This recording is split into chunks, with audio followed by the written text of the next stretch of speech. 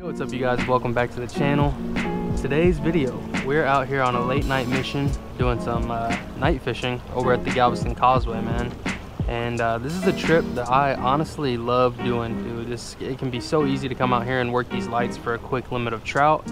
So trying to hurry up and get out there to the causeway. And if push comes to shove and the causeway doesn't really work out, uh, we still got Tiki Island right here and uh, all those canals with lights. So if we don't get at least one keeper speckled trout tonight, then I don't know. It was just not in the cards, but I do have a good feeling. So uh, let's get out there and see what we can get into. Try to get some video footage for you guys of the bridge and all the lights. I don't think the GoPro's gonna be able to make it out, but it's just like I remembered. Um, most of these lights are out. We still do have like a handful here and there, but pretty much everything on that Galveston side is completely done. There's no like, if you look on the bridge, there's literally no lights at all. So We've got the middle where the barges come through and then everything going towards the mainland.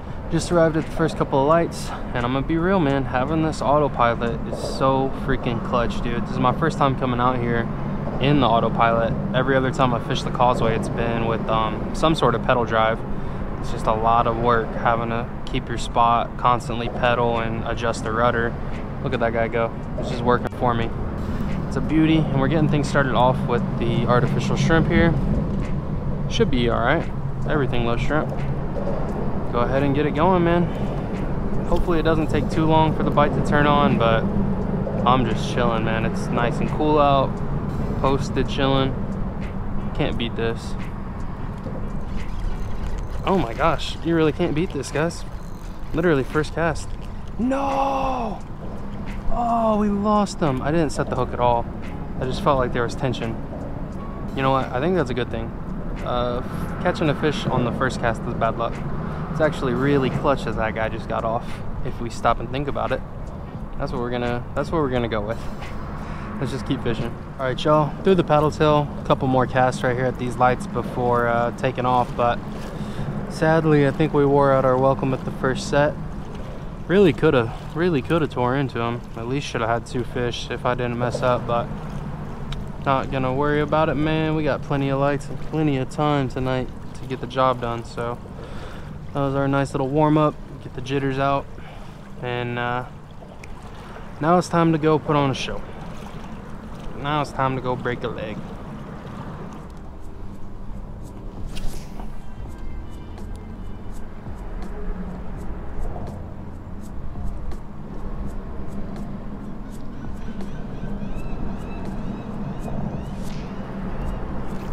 There we go, y'all.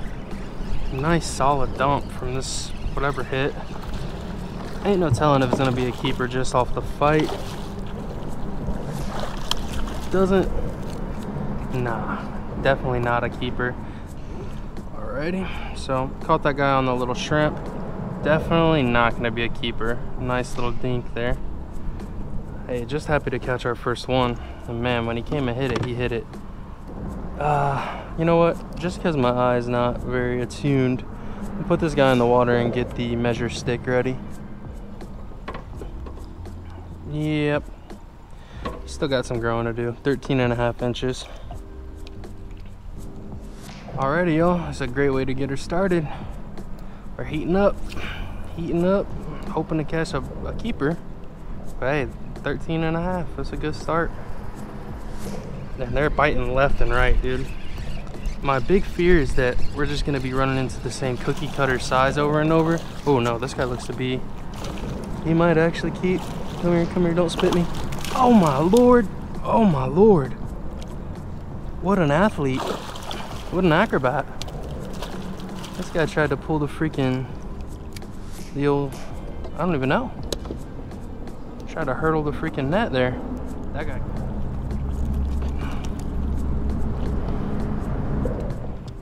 Time to see. Oh man. Get a load of that, y'all. That's with the, the fish grip in the way. Definitely doesn't keep. Come on. So yeah, with a closed mouth there, just barely on 15. Not even. Not even. You keep it on. Keep on keeping on, buddy. Dang it, dude. That one was closer, though. That one was on the line. Last one was just a straight 13.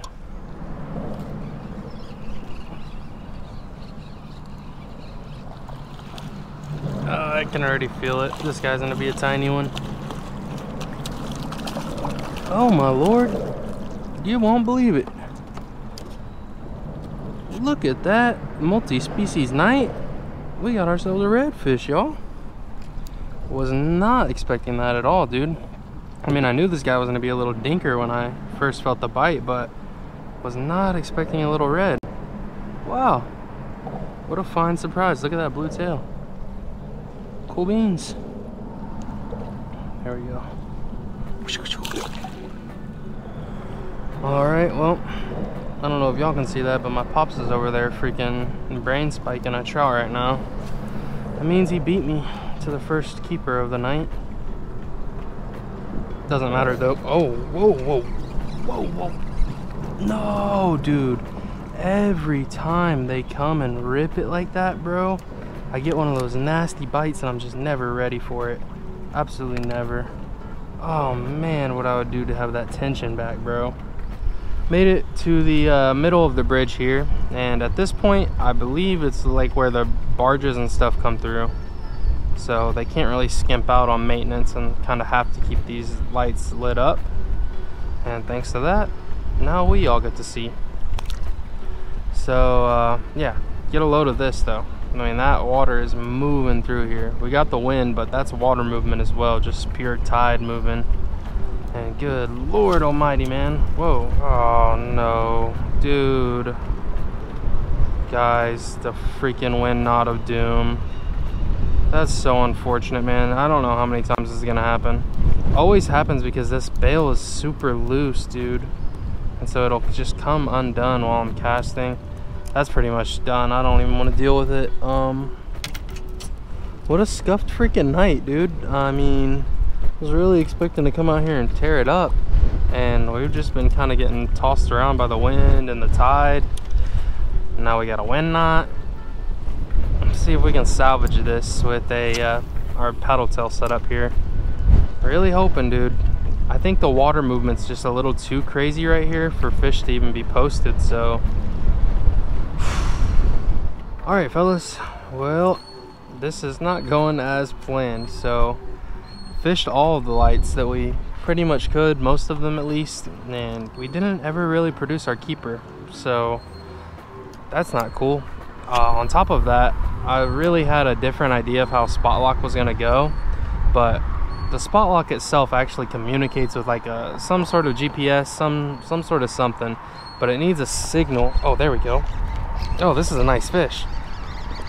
I got a nice one. This has got to be a red.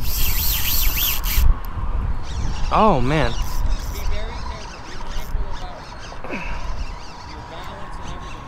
Yeah. See what we got here, y'all. Nice fish. Whatever it may be. Oh my.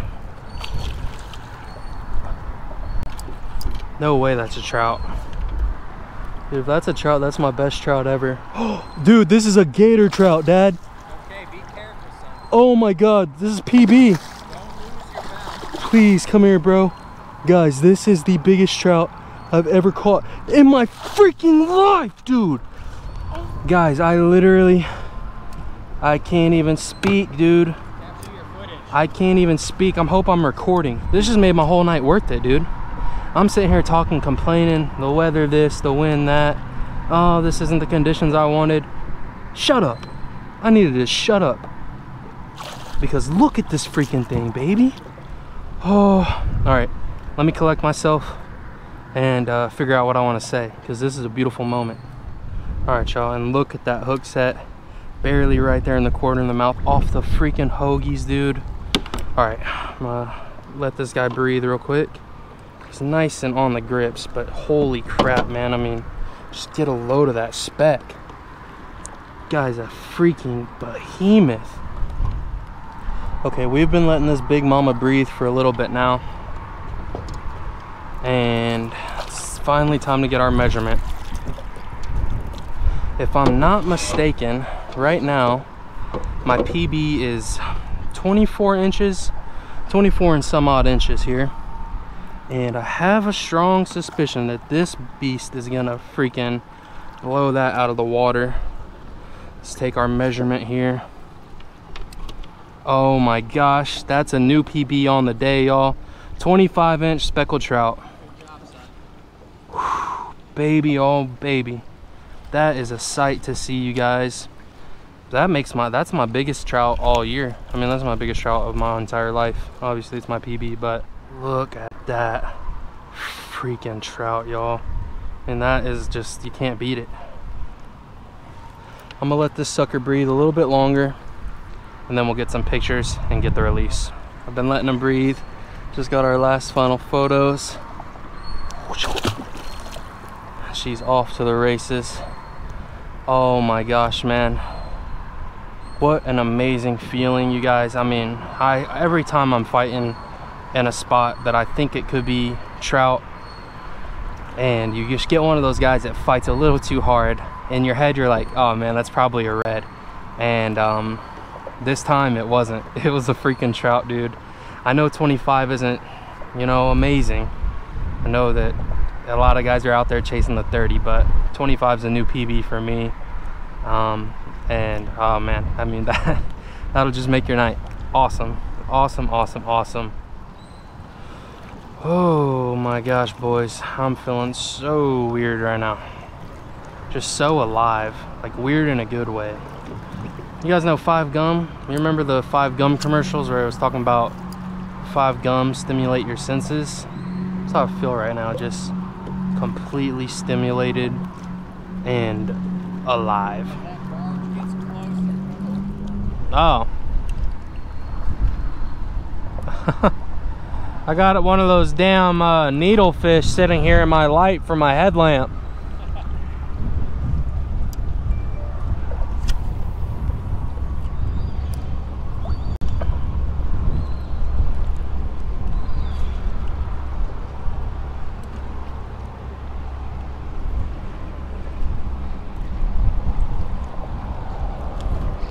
we go, y'all. Another nice one. All right, y'all, we got another drag puller here. There's no way we're getting two nice trout in one day. One night and we're getting two nice trout, bro. There's no way, right? There is a way. There is a way. Go run along, read some books. I don't even know what I'm saying right now, guys. I'm just having such a good time. Bro, oh my God, dude. I just want to net you, bro. Let's go, guys. Oh my gosh. Not as big as the last, but another freaking fatty. All right, so we're letting this little mama breathe. And let's see. Let's see, let's see. What are we working with here? Another really nice trout, man.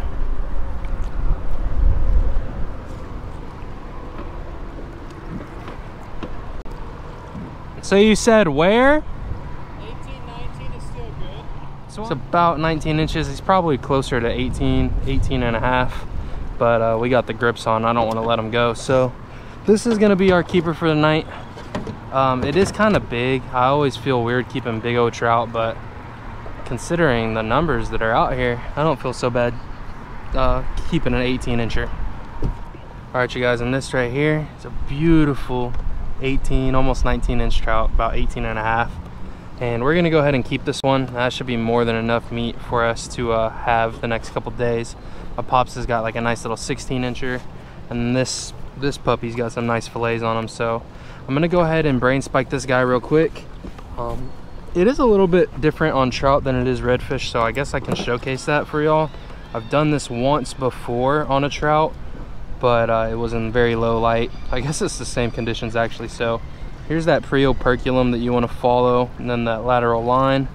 Now, what I like to do is just go straight from the top of the head because it's really hard to do it from the side, but basically go towards that lateral line right on top of their head here.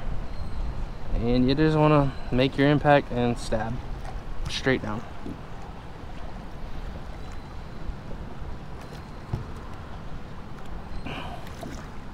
And that right there, I think we did it. He kind of did the little tail flip and then his gills, uh, what is what is that called? His gills flared and then he's just done after that. So I like to give it a good stab, make sure everything's nice and done in there. But old buddy is now brain dead and uh, we need to move quick to bleed them out and sever that neural canal through the tail. All right, man, what a freaking event.